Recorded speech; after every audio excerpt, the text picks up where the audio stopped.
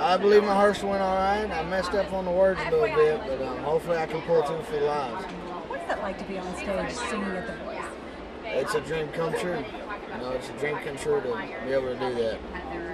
Blake is what you see is what you get. The biggest things that I've learned that I've taken to my heart is not necessarily through his words on, on me on my you know correcting my singing ways and stuff like that, but more so um, on a personal level when he presents himself and he stays true to himself 100%, and that inspires me.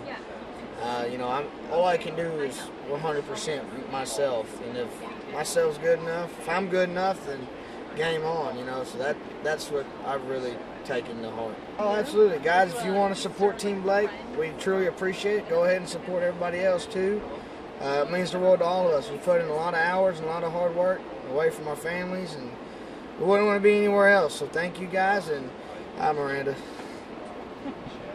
Thank you very much. Good luck to you.